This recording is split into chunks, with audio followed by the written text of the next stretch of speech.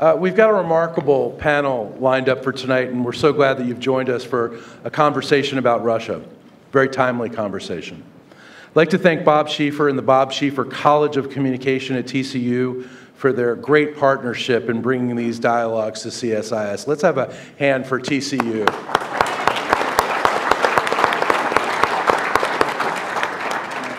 Uh, none of this would be possible without the generosity and support of the Stavros Niarchos Foundation. I was in New York with them yesterday, and they're just such wonderful and generous supporters of us, of ours, and we're so appreciative uh, of them for everything they do for us.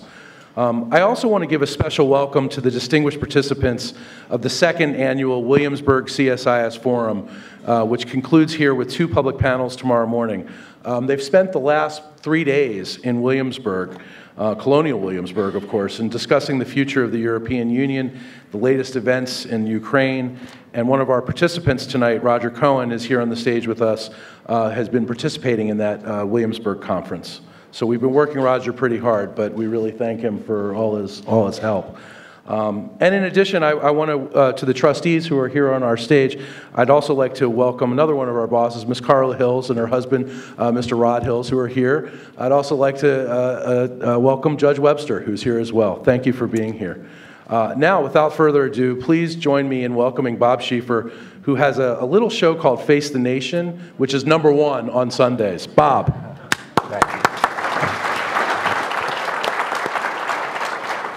Well, Andrew told me uh, that uh, they had to uh, cut off uh, uh, invitations at 600 uh, for this. This is far and away the largest group we have ever had. So thank you all, and I know why you're here. It's this is this is one of the best and one of the best panels we've ever gotten in here at the same time in the same place. So thank you all for coming, and just to get it going.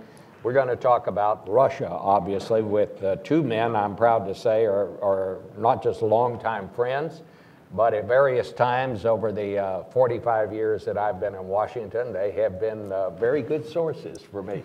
Sometimes, sometimes on the record, sometimes maybe not. Uh, Dr. Brzezinski and uh, General Scowcroft uh, uh, also with us, someone I, I, admire greatly and joining us, a columnist and author I greatly admire, Roger Cohen of the uh, New York Times. This audience is certainly going to need no introduction to any of them, but in case there is a visitor here from Mars, let me say Dr. Brzezinski is a former U.S. National Security Advisor to uh, President Jimmy Carter, counselor and trustee here at CSIS, senior research professor at SAIS at Johns Hopkins, has served in the State Department, many other prestigious foreign policy positions. General Scowcroft, also former national security advisor. He served uh, with President Ford and uh, George H.W. Bush. He too is a counselor and trustee here at CSIS. He was a military assistant to Richard Nixon, was deputy uh, assistant to national security affairs uh, during the Ford and Nixon administrations, and that was with Henry Kissinger, right? Yep and uh, holds the Medal of Freedom in 1993. Queen Elizabeth uh, made him an honorary knight of the British Empire, and Roger Cohen has been a foreign correspondent for more than a decade at the New York Times and was foreign editor for the Times. Uh, now writes a column for the Times. He's the author of uh, several books on foreign policy and also uh, a biography of General Norman Schwarzkopf. So uh, it's hard to know where to start this discussion, but I guess let me just start with this question. Is this the new Cold War? And why don't we just start with you, uh, Dr. Brzezinski, down at your end of the table? Well, obviously, we don't know for sure, but it's beginning to look that way.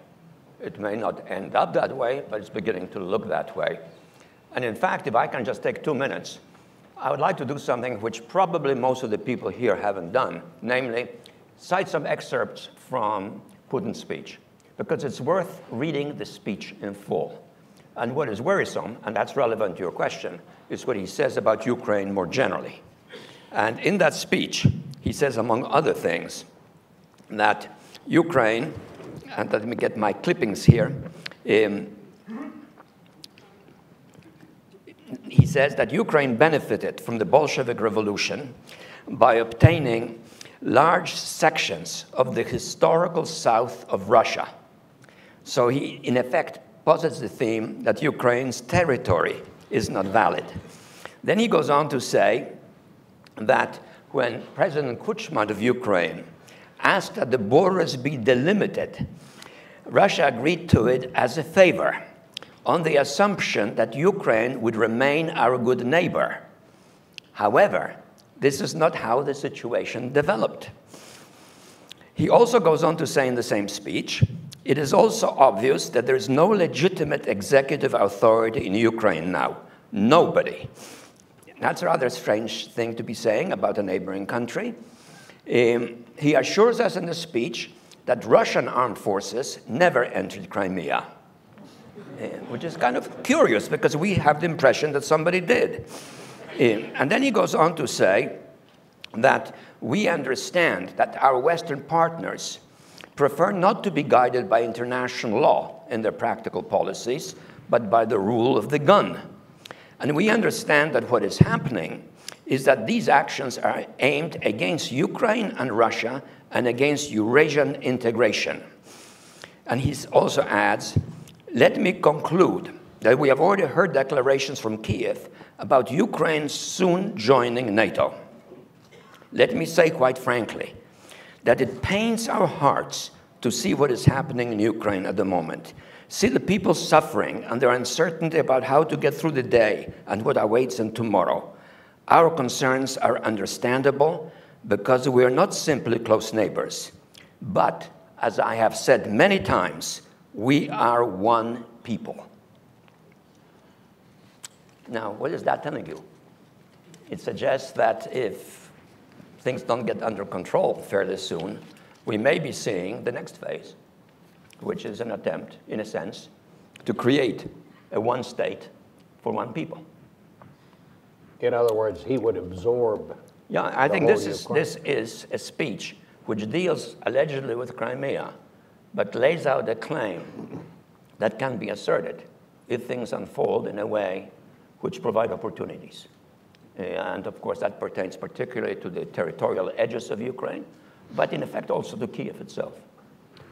So, General Scowcroft, uh, back to the top question. Is this the beginning of uh, a resumption of the Cold War? And did you have the same interpretation of Putin's speech as uh, Dr. Brzezinski did? Well, uh, excuse me, mine is not an interpretation. I read excerpts. You just read excerpts. I think this is not a return to the Cold War. I think it's a different character. Uh, we have had a scratchy relationship with uh, Russia since uh, the Cold War ended, and I think uh, it will continue. But the Cold War, I think, was pretty sui generis. And it, it evolved philosophies about the world uh, and struggle for men's minds. This is not that kind of thing. This is much more, much more practical. Uh, I think uh, what what's big read was very interesting because, you know, if there, there's anything that makes confused reading, it's the history of Ukraine and Russia. The first state of Russia, called Rus, had its capital in Kiev in the 10th century. Uh, and they were driven up into the forests by the Mongols from Asia who didn't like trees and didn't go after them. So, uh, and since then, there's been a different relationship with Ukraine than almost any other part of, uh, of Russia or, and or the Soviet Union. So I would say this is new. Uh, I think some of the things that Zbig has read are, uh, I learned a lot about Putin from what he said the last few days in, in this sense that uh, uh Putin is a different person very different person from Gorbachev or even from Khrushchev. But, uh, and he has the outlook of someone who was KGB and who saw the Soviet Union collapse. And he's a person full of venom because he thought that that collapse was taken advantage of by the West, or especially by the United States, to humiliate Russia or to take advantage of Russia. As a matter of fact, he says, when we were flat on our backs at the end of the Cold War, you walked all over us because you could. Uh, you denounced the ABM treaty. You pushed the borders of NATO right up and into the former Soviet Union because you could. Now we're strong again and you can't push us around anymore. And so there's that that goes through it all. But I think to say that this is a new Cold War is, we can make it one, but I don't think it's going in that direction. Roger? Well, I agree with uh, General Scowcroft that clearly in this instance you don't have the ideological conflict that you had during the Cold War. On the other hand, I think that we should have taken President Putin a lot more seriously when he described the breakup of the Soviet Union as the greatest catastrophe of the 20th century. That is a pretty memorable phrase. Because it was so extraordinary, unbelievable, I think many of us tended to laugh it away. But I think what we're seeing now is that President Putin is absolutely serious about recreating the Soviet space. And looking at it from the perspective of what's just happened in Crimea, I think we can view the events in Georgia in 2008 as a kind of precursor, a, a, trial run, if you like. Let's see if the West reacts, if I recognize Abkhazia and South Ossetia as independent states. In that case, he did not annex. And we huffed a bit, and then we went back to reset, and then there were the Medvedev years when it looked like we might be able to treat Russia as a normal country. And there's been this idea, this dream of a, of a European space uh, or a Eurasian space stretching from Lisbon to Vladivostok, where we could build free and liberal societies on a Western model. But this man, this President Putin, he, he does not want that. He is, he is bent on something else. He is bent on proposing an alternative civilization, if you like, to the West. And I think today, Bob, we have a highly combustible situation. Um, I agree that uh, this could be just the first move in Ukraine, but much more dangerous is the fact that there are Russian speakers in plenty of other states uh, surrounding Russia, uh, notably uh, Estonia and Latvia. And if anything begins to stir there, we're into territory where, of course, Article 5 applies. An attack on any uh, NATO member will be considered an attack on all. So we're definitely into new territory. I don't think we're into uh, a new Cold War, but we're into new territory where we have to recognize that in Moscow right now we have an adversary.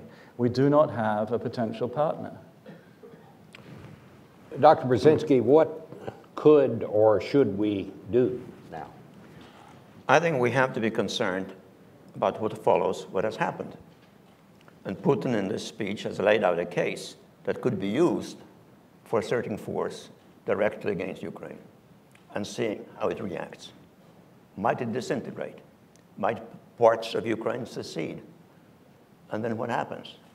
Suppose violence breaks out. What choices do we have? How can we react? And I think we ought to try to anticipate that possibility and certainly to consider it seriously.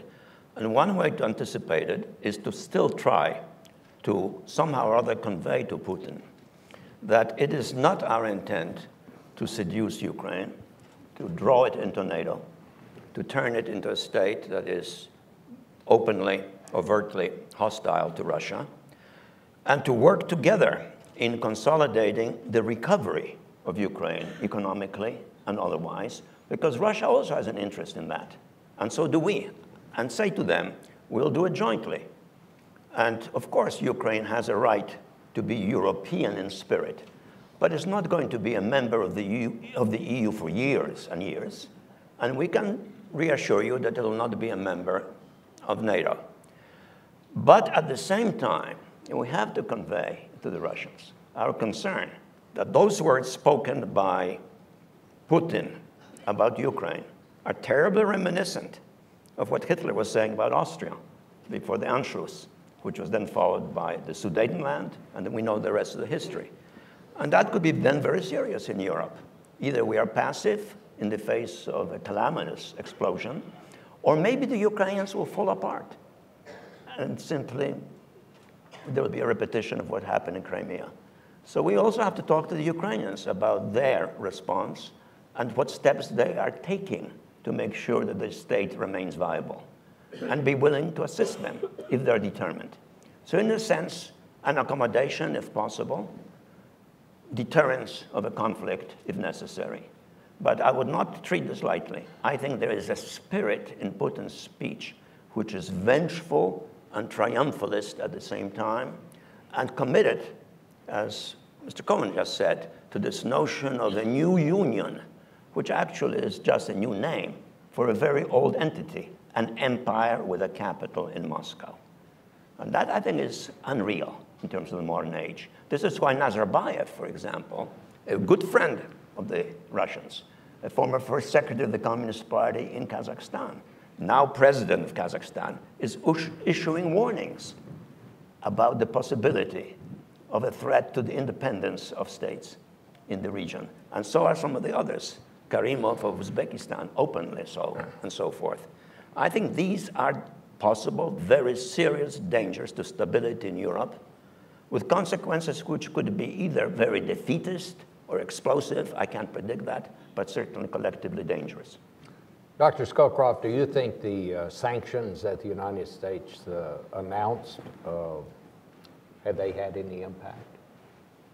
I think uh, we've done about the minimum we needed to do, and uh, I think we see what happens now. Uh, I agree with much of what Zbig has just said. I misjudged Putin. Uh, as I say, he was filled with venom of the United States in the end of the Cold War. But uh, he's not a dumb man.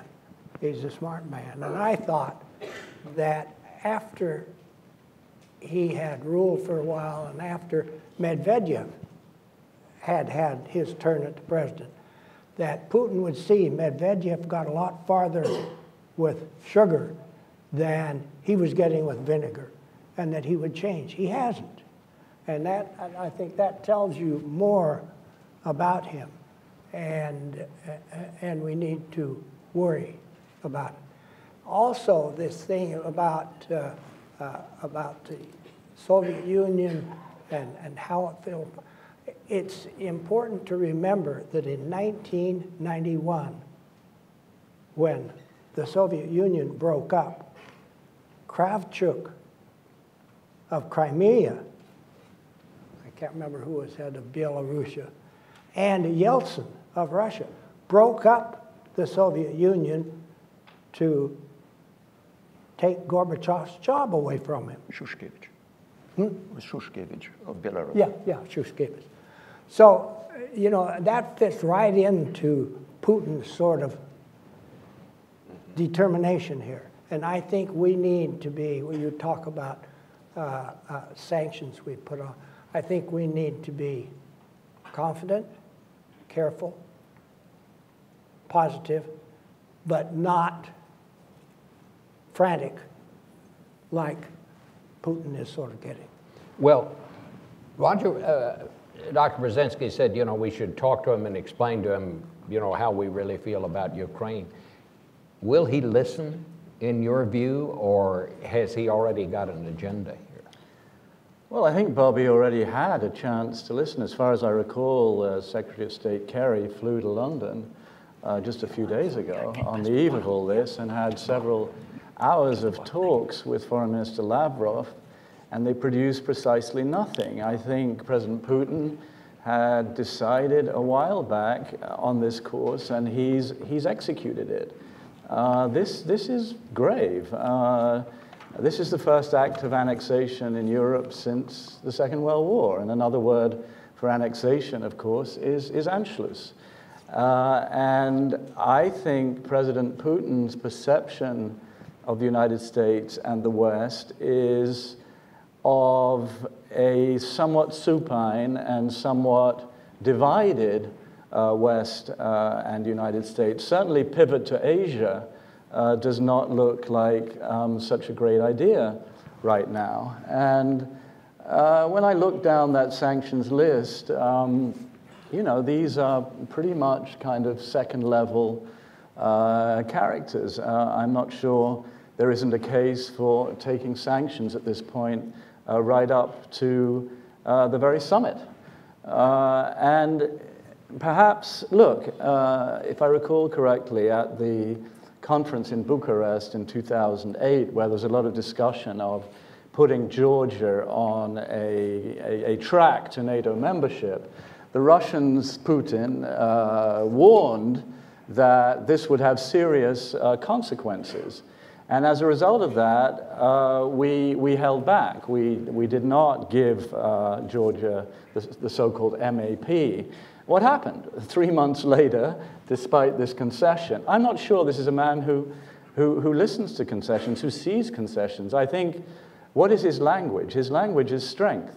So I think unless you respond to his strength with our own form of strength, uh, you end up losing. And uh, that, I think, is the situation uh, we are in today. Well, what can we really do? Well, I think, if I may, I think in the, uh, the bottom line of the answer has to be enlargement, enlargement of the European Union at least. We, we cannot, I think, take from Moscow a veto on whether free countries to the east of the European Union want to be members of the European Union or not. I think our task is, one, to give Putin a sense that there is an option, a better option. That's my first point, which I've already made there are people in Russia who are very worried about what is happening. There were 50,000 people in the setting of a brutal regime demonstrating against this war just a few days ago. They're worried. I think we ought to convey to Putin, you can have a deal that is reassuring, but it's not a victory for you. Second, we have to consider seriously the possibility, in view of what he said, and which I've quoted, that he'll try the Crimean operation in Ukraine itself with one very important distinction. The Crimean operation was premised on the ability of quick deniability. If something went wrong, if all of a sudden there was a lot of resistance, he could say, we never attacked, these guys weren't mine, forget it, it was some sort of a local incident. He can't do that in Ukraine. If he goes into Ukraine, either there is an engagement or there isn't. And I think we need to talk to the Ukrainians seriously and try to establish to our own satisfaction or maybe they'll tell us or share something with us. Are they really prepared to defend their territory? Because if they are, we should make it even more clear to Putin don't plunge into that adventure because that can have escalatory consequences. And I certainly wouldn't tell the Ukrainians, since they have already asked us for some military assistance, that what we're willing to provide are prepackaged military uh, food meals, yeah. Meals, Ra which we have told them. Yeah. That is so far our contribution to their capacity for self-defense. I think we should indicate we're not going to be at war, we're not committed to war, but if you resist, and if you resist, you will certainly gain the sympathy of the West, just as Finland did in 1939 and 1940 when Stalin attacked Finland. And that creates pressure to do more, and that becomes something that Putin has to consider. Can he really undertake a war at this stage in the heart of Europe, given the state of his economy, which is really very bad, and still the relatively retarded state of his military, which is only being modernized? If he did this 10 years from now, he might be in a much better shape.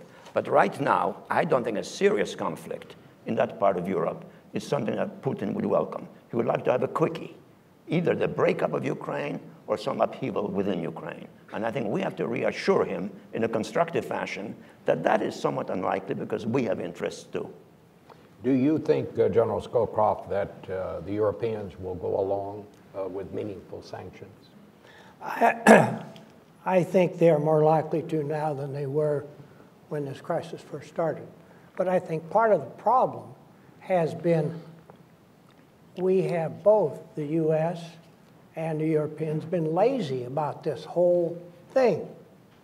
Uh, the EU made an offer for a relationship with Ukraine. It was a little bit here, a little bit there, maybe some of this, maybe some of that, and so on. Didn't amount to anything. Putin turns around and offers them $15 billion loan. Now, Billion. what? Billion. Now, what the United States could have done at that time, and I think should have done, is to say, look, Ukraine's economy is in terrible shape. Let's us, the United States, the EU, and Russia put together a program of assistance to Ukraine to start them out, get them, get them going again. I don't know if it would have worked, but we, we're, we're now assuming that what we've got to do is match them belligerent by belligerents by belligerents. And that may be where we end up, but I don't think we ought to start there. And just one other comment. You know, Ukraine is a very interesting state. It's not just a country. It's three countries. Well, two if you take out Crimea now. But there's the Crimea, which is Russian for all practical purposes in terms of its population, and a few Tatars, most of whom have been driven out. Uh, then there's East U- Ukraine, about the eastern, roughly half, uh, that is primarily of Russian extraction. There is West Ukraine, which has a long history with Poland, with Lithuania, with Austria. They're very different kinds of evolutions here. And so when you say Ukraine this and Ukraine that, what is it, what is it you're talking about? And Putin has done one thing that maybe he hasn't calculated right. There may be some votes or elections around here. He has changed the relative balance of the populations because Crimea was Russian, period. And now that's out of the mix. So the balance between the two Russians are left is, is much closer. And remember, Putin has also said, uh, you know, that there was a coup against the president, Yanukovych, who was a, a Russian stooge. Uh, and, uh, well, I don't remember what I was going to say now. But, uh, But you were right. he was. uh, but now, now the government is a government primarily of West Ukraine. And that's different. And Putin sees that difference. And what he says is, you threw out Yanukovych and put in your fascist. Let me just throw this out because it's, it's something that, you know, we're seeing a lot of in, in the press. And uh, did this have anything to do with how the United States is now perceived in the world? I think it does to some degree. I think uh, Putin, President Putin, had the perception that he could get away with this and that transatlanticism had become an almost quaint term. Blah, blah. Transatlanticism, what's that for? That's so 20th century. Who cares about that? That's all of, okay, you've got the Poles, Lithuanians. They actually think Article 5 is important. You know, they're fussing about NATO and they want NATO protection for some reason. Who knows why? Uh, and um, I think there was a sense not only of, of that division, but of a United States where the operative word is retrenchment. Uh, a United States that after two painful wars wants uh, to look after its own uh, for a while. And while I don't think there's any direct link, I do think it's a matter of great concern when the United States of America sets a red line as it did in Syria on the issue of chemical weapons, and walks all the way up to the response called for by that red line, and then is seen at the last minute to step back from that. Um, I think that sends a message. You know, that registers around the world. It's not something people immediately forget. So I'm not saying there's a direct causal link, but I think there is a sense of disunity and weakness. And on that basis, President Putin, who is a man who, you know, whose, psycho- whose psychology understands above all force, strength, uh, brutality where necessary, I, I, think that gave him a kind of green light. What he did actually in uh, Crimea, I covered the war in Bosnia. This is exactly what President Milosevic did in Bosnia. Serbian troops in Bosnia? No, none. What are you talking about? This attempt to get plausible deniability. You could see them. I rode on buses with them from Belgrade, you know, down into, and you still got these guys. Now, today, these terrible photographs of the Ukrainian army and navy walking out of their, their barracks, you know, with their hands up, and the soldiers, you know, pointing their machine guns at them, are in camouflage and, uh, and, and no identifiable insignia. What is this? Do you think, Dr. Brzezinski, did this have anything to do with how the United States is perceived, rightly or wrongly? Well, probably up to a point, yes. Um, and even right now, I'm a little surprised that with all that is happening, uh, the President of the United States hasn't spoken to the country about the problem, hasn't put it in a larger context. Uh, he gave a brief statement in the bowels of the White House regarding these minimalist sanctions and then walked out of the room. Didn't say much to the American people. So I don't think there's even that much clarity abroad yet about our position. I hope it'll emerge in sharper relief. Well, what would you, uh, and I want to hear from General Scowcroft on this too. Let's say both of you, if you were advising the president, if you were the national security well, advisor, I've already told what you would you what tell would him do. to do right I, now? I would, one, still make an attempt to see if the Russians are receptive and a larger accommodation regarding Ukraine, mm -hmm. and a generous one and a balanced one. Mm -hmm. But I'll also try to make more certain that the Ukrainians know what they're going to do and are prepared to do it. And if push comes to shove, start indicating rather heavily that we'll not be indifferent, we'll not be passive. And on that subject, let us just not exaggerate the divisions in Ukraine. There are some Russians in Ukraine, but the Russian speaking Ukrainians are not Russian.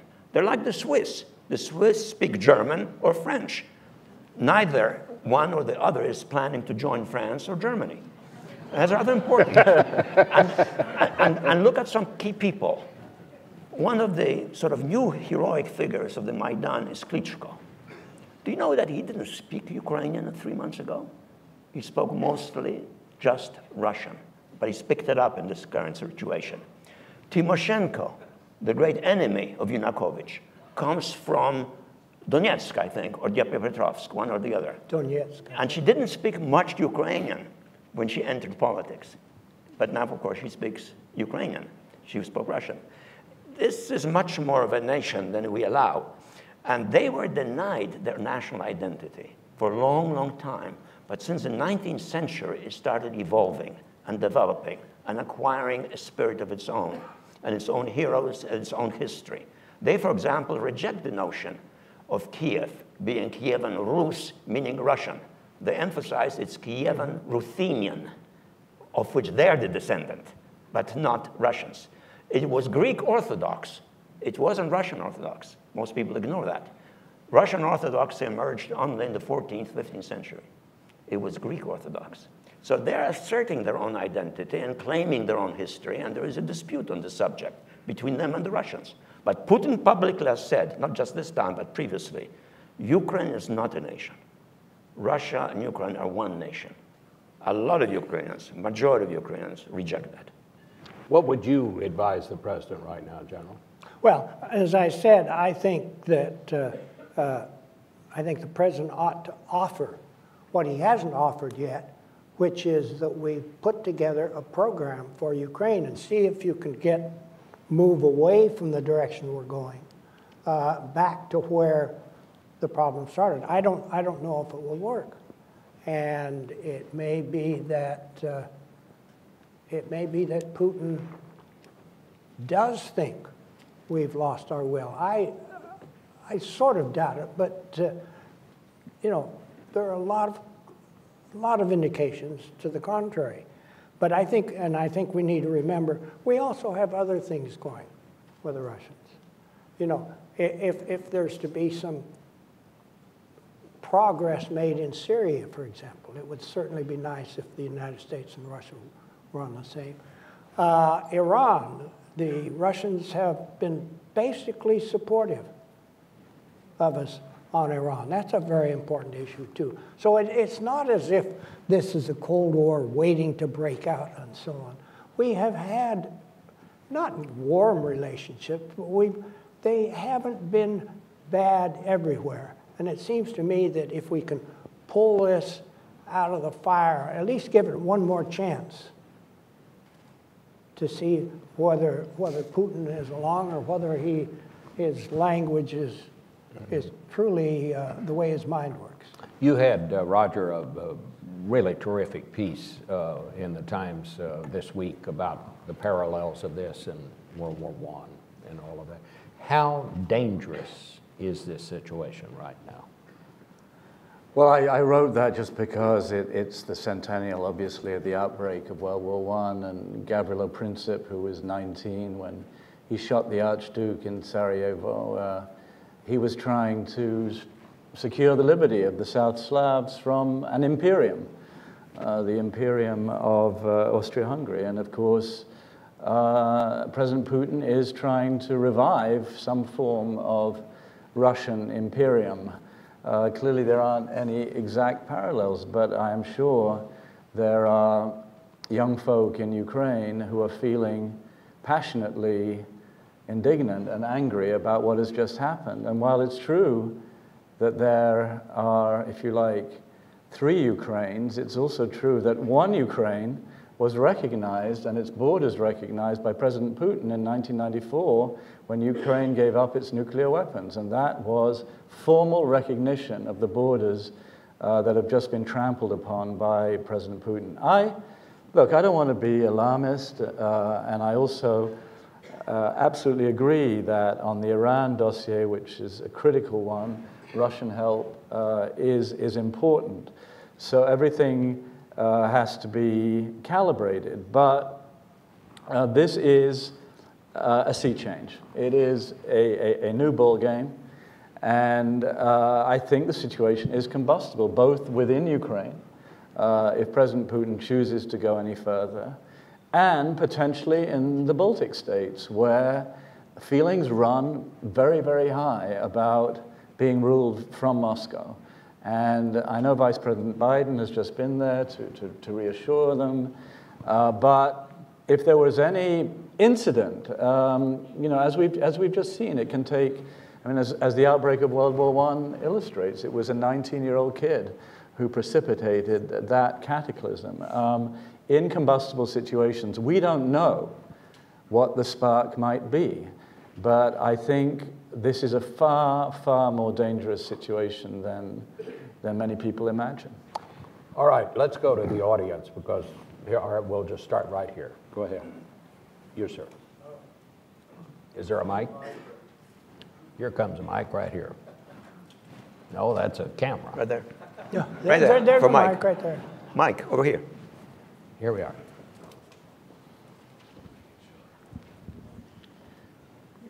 Do you think that uh, Snowden has assisted Putin in any way by supplying him with ways of, don't laugh, ways of collection that we have in uh, the Ukraine and, and the surrounding countries that uh, could have compromised our response? I didn't understand that. Snowden, whether Snowden. Oh, Snowden. He's in Moscow. And whether what whether he supplied the Russians with intelligence. Did did did Snowden supply the Russians with some kind of intelligence that might have compromised our doing it. compromised us in some way. Look, there's no way of answering that without knowing what he has and what he has given to the Russians. I don't know what he has. It was announced that he, uh, we had uh, gathered intelligence on one country. This has been another. Probably more than one country. But I don't think we know what he has, and we don't know what he has given to the Russians. Okay, right here. You had. Thank you. Uh, Paolo von Schirach, Schirach Report. Back to what you were saying a moment ago in terms of this being a game changer. Certainly, Pax Americana has been uh, the legacy of the post-war period, and it was what the fundamental principle was sanctity of borders. Now, this principle has been blown away for reasons that you, all of you gentlemen, have explained quite well. Uh, the history, the complexity, the old Soviet Union, Russian Empire, Ukraine, this and that. We all understand. And, we, and certainly we all understand, and I think we can have sympathy on the fact that most of the, the Crimeans are Russian, ethnic Russians. However, as you pointed out, there was a treaty sanctioned, and uh, the Treaty of Budapest, I believe it is, in which the United States, Great Britain, and Russia guaranteed the Ukrainian borders. Now, this principle has been blown away. I think that President Obama is trying to say, wait a minute, we cannot do this, and you cannot get away with it. What, and you have explained that we don't really have that many options. But if this principle of sanctity of borders, which is at the foundation of peace in Europe, is blown away, then what? Then what, they, what will the United States be able to do to repair this? Because now we are most likely going to allow this to happen because there's not going to be uh, any going back, I believe. In other words, Putin is not going to give back the Crimea to the Ukraine. Then the principle of sanctity of borders has been infringed. Is that of an issue of great consequence, or we can just let this go? Thank you. Uh, I don't think it's an issue of that great confidence, and we didn't think so either uh, with respect to Kosovo, which is a similar sort of action. As a matter of fact, we used force to try to make it happen. So I don't, I don't think that's a fundamental issue. Dr. Brzezinski, do you want Well, I think it could be a fundamental issue, but I agree with Brent that it isn't yet for one very simple reason. The Ukrainians didn't resist in Crimea. Maybe they couldn't, but they didn't. And that makes it very different because there was a kind of complacency or accommodation on their part. But I'm concerned that the issue could become much graver, especially in view of what Putin is saying, that there is going to be a challenge to the integrity and independence of Ukraine. That would be very different. And that would be very different. The lady in the back. Thank you. Maya Kay, Voice of America Georgian Service. My question is really simple and short. How safe might Georgia be in this given situation and new development? Can we expect Russia's further exp expansion military to the south? Thank you. I couldn't hear that. I didn't And, and would you identify yourself again and where are your children? Maya Kay, Voice of America Georgian Service. Thank you. I didn't get the, I didn't It- get the It's question. very difficult for us to, the, the sound is a little muffled. No, no, we Voice of know who she America, is, but but what is what the was the question? question? Maybe if you'd come up here, we could, I'm sorry to ask you to do this, but it's very difficult back there. Go ahead. Thank you. Again, uh, Maya Kay from Voice of America Georgian Service. My question is, can we expect Russia's further military expansion towards Georgia? How safe might Georgia be? Does anybody get that? Thank you. Uh, the, yeah, the question is how safe should Georgia feel? I think the fact is, having talked to a couple of Georgians who uh, attended our conference, Georgians do not feel safe. They do not feel in the least bit safe. In fact, they feel uh, threatened. And of course, those kinds of feelings, whether they're rational or irrational, uh, doesn't particularly come into it. If you're afraid, you're afraid. And when you've already lost 20% of your territory, as Georgia has, uh, and you see what's just happened in Crimea, and you see both the EU and NATO basically slamming on the brakes whenever anybody mentions any notion of Georgia coming into either the EU or NATO, then you think, well, what's our future here? Um, you know, we've, we've got President Putin up there eyeing us, and, and to the west, which is the direction we want to go in, we, we don't see much receptiveness. So I think that's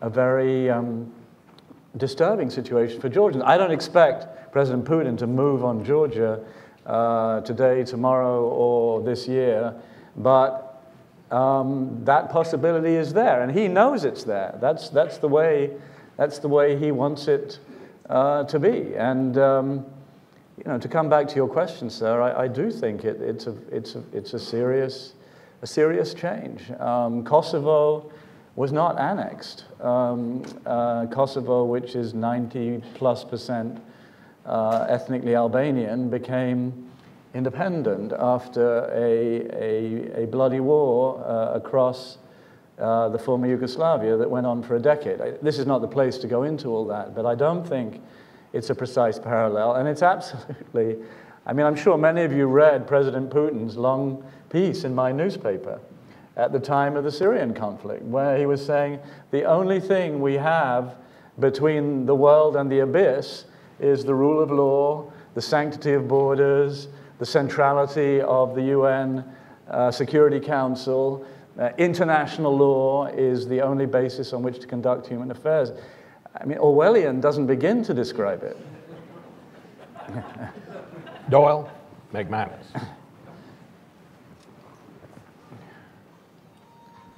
Thank you, Doyle McManus from the Los Angeles Times. I'd like to sharpen the question of what the United States should be prepared to do if the government of Ukraine says it's prepared to resist Russian incursion, further Russian incursion into its territory in, in the east and south. It seems to me there's a bit of a chicken and egg problem here. Their, their decision of what they're prepared to do may depend on their uh, understanding of how much support they may have. Now, Dr. Brzezinski, you suggested that MREs don't seem quite enough. It's a well-known menu. We can provide uh, intelligence support, we can provide advisors and training, we can provide non-lethal equipment, we can provide lethal equipment, we can provide air cover. So I've given you the escalation you already know. Where, where should we be and what should we be offering? I think in any case, we should engage in contingency planning for all of that in different portions, depending on circumstances.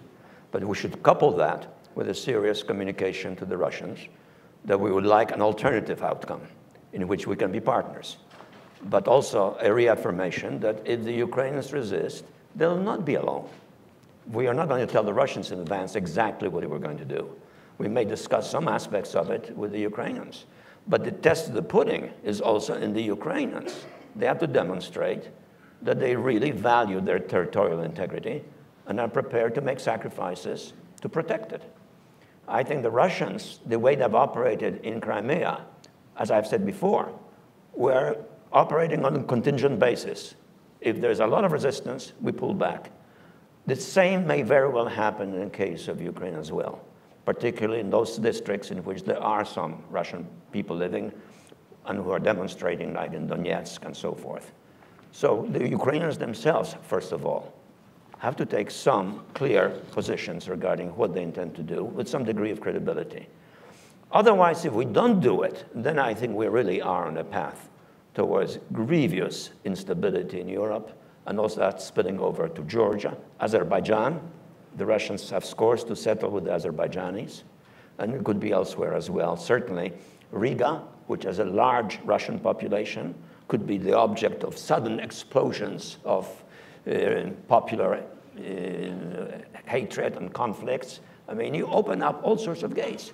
Our job is to reduce the scope of uncertainty by commitment and clarity and willingness to compromise on an intelligent level. But that also means the president has to take a visible position and speak seriously to the American people about the problem that we confront, that we and our allies confront jointly. And Mrs. Um, uh, Merkel's speech, I think, is a hopeful indication that more and more important Europeans are beginning to realize that we're in this together. Hollande, even though he has some personal distractions, has also spoken strongly on this subject, which, you know, given his busy schedule, uh, is a good, good sign. Anybody else want to talk about that? Uh, back there, the lady. Thank you, uh, reporter from the Voice of America Chinese Service. I have a question here for all the panelists. So are you concerned that if EU and US fail to take effective measures on Russia, will China be encouraged to do the same thing in its neighborhood? And the second, whether US's rebalancing towards Asia will suffer from the Crimea service, uh, Crimea crisis. Thank you. Well, if, if I heard it, I'll, I'll start off.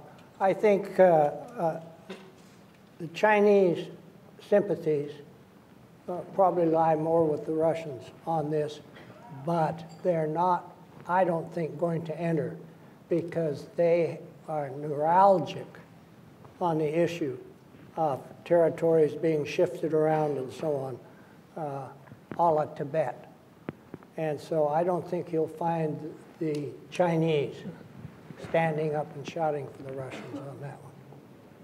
Anyone else want to, Roger, do you want to add to that? Well, I think uh, in terms of the second part of your question, and uh, it's been hard to understand what exactly pivot to Asia meant. Uh, it was a phrase, and it's floated out there, and there have been meetings about it, and uh, it's not altogether clear, to me at least, you know, what, what it's meant. But I think what President Putin has presented the West with is a strong case for looking again at the transatlantic alliance, looking again at defense budgets, looking again at the fact that uh, the European neighborhood uh, is not so safe and secure that we can simply uh, transfer our attention elsewhere.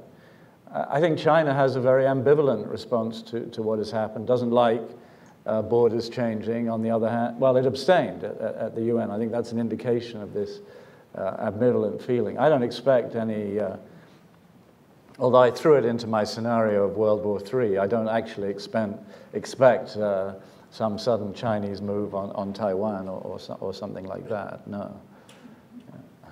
All right, right down here. Yes, sir, in the second row. Thank you, Francois Heisbourg uh, from the IISS. Uh, there is another country which has a common border with, the, with an EU member and with a NATO member, and which has an agreement with the EU, and that's Moldova. And Moldova also has its own Crimea in the form of Transnistria, which is now asking Russia to become part of the Russian Federation. And uh, there is a game which is beginning now uh, between Russia and Moldova to get Moldova to go to the Eurasian agreement uh, in exchange of Transnistria not being made part of Russia. What, Zbig should we be doing now to prevent that particular domino from falling? Because if it does, then you're going to have a problem for Russia of territorial continuity between Russian Transnistria and Russian Crimea. And that happens to be the southern borderlands of Ukraine. Uh, so you may not have time to prepare that package of measures which you told us about earlier on. What should we, should, should we be doing now? If I may, just one remark on the leverage which we may think that Russia has vis-à-vis -vis us on Iran and Syria. I remember and Zbig remembers and Brent remembers that during the Cold War, we were able to speak and cooperate with the Soviet Union on issues of chemical and nuclear proliferation. And that's not going to stop simply because we're going to have a big problem with Russia otherwise. Russia has permanent interests. It is doing what it is doing on Iran, not because it wants to be kind with us. And if we get into a new Cold War, it is not going to stop Russia from continuing to talk with us on Iran. Well, I agree with you on the Iran aspect. As far as Moldova is concerned, there's one key factor involved here, geography. Um, if Ukraine doesn't go the wrong way, the Russians will not be able to pull that off. And if necessary, we and the Ukrainians can deal with it. If Ukraine falters, the problem is, of course, Moldova, but of course, the bigger problem is Ukraine itself. This is why that is the key strategic issue right now. How will the Ukrainians play it? How will the Russians play it? What can we do to influence a positive attitude on the part of the Russians? What can we do to be clear cut in our relationship with the Ukrainians? All right, right there.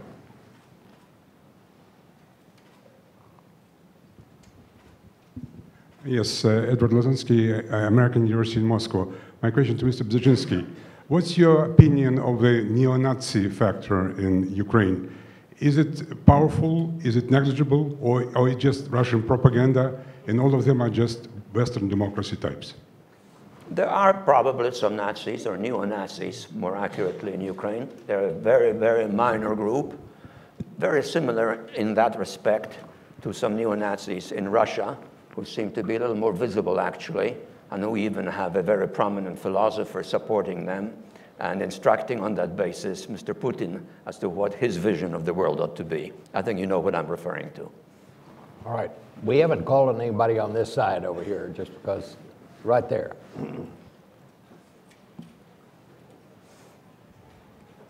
Look to your right. I'm Mark Seibel with McClatchy Newspapers. I have two quick questions. One, I'm wondering if any of you were surprised that Putin moved into Crimea, uh, because some people say we should have realized it all along, and others say, of course we were surprised. I'm just curious what your personal situation was. And then there's been a lot of discussion about NATO and how this finally brings NATO back around to having a purpose. And I'm curious whether you think the initial response on behalf of NATO and the United States, sending a, a half dozen planes to Poland, that sort of thing, if that's muscular enough to make an impression. Roger, why don't we start well, this side? I was, uh, I was not surprised uh, in the end game, if you like. I, I, um, I think the Germans have very good antenna in, in Russia, and I, I spoke to a, a, senior guy I know at the foreign ministry there about, I guess, two weeks before the annexation. And uh, yeah, he's a fairly prudent guy. And he, he said, you know, our impression, and Steinmeier, the foreign minister, had just been to Moscow. And, and his, his impression was he, he's, he's going to go all the way. I don't think we can stop him. And, uh, you know, that, and I was surprised then. I said, really? And, uh, and then I, I saw you know, these uh, moves that reminded me very much of, uh, of Belgrade and what I'd witnessed uh, in Bosnia. Of course, no parallel is exact. And so I was not, um, I was not surprised uh, uh, right at the end. Uh, in terms of, your second question was about what NATO, the NATO response. You know, President Obama is about to go to Europe. He's going to Brussels, I, I believe, for the first time very soon, this month.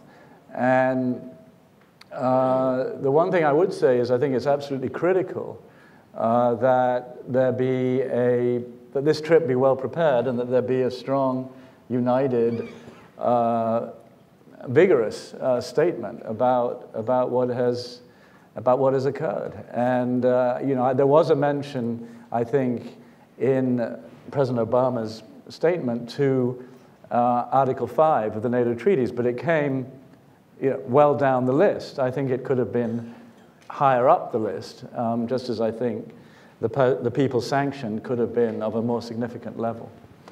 About you too, were you surprised? Yes, I was surprised. Um, I was surprised by how efficiently and essentially non-violently the Russians were able to pull it off. It was a well-run operation, well-planned, with all possibilities of disengagement if need be. But I was also surprised that the Ukrainians there didn't offer some resistance. Could we, should we have known about this? Uh, if we'd paid attention, yes. But we weren't paying attention. Uh, you, you, know, Ukraine has had several elections. They've, they've gone with the western part, they've gone with the eastern part. Uh, Timoshenko was put in jail by Yanukovych. So this has been a troubled country for a long, long time but it was a backwater, and we had this little surge about uh, Ukraine and NATO for a time. But no, we have not paid attention to it, and I think we probably could have avoided it had we been on top of the problem when it first started with the uh, Ukrainians and the EU.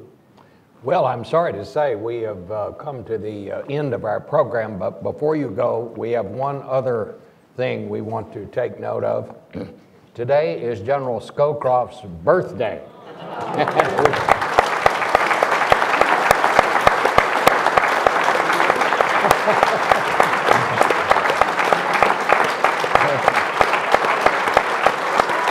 you're going to have to blow out the candles.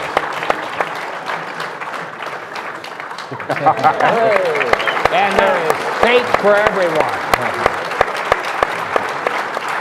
I'm sorry. I don't do birthdays anymore.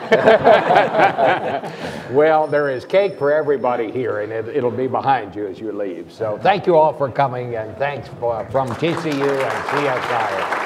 That was a good session. Roger, that was good.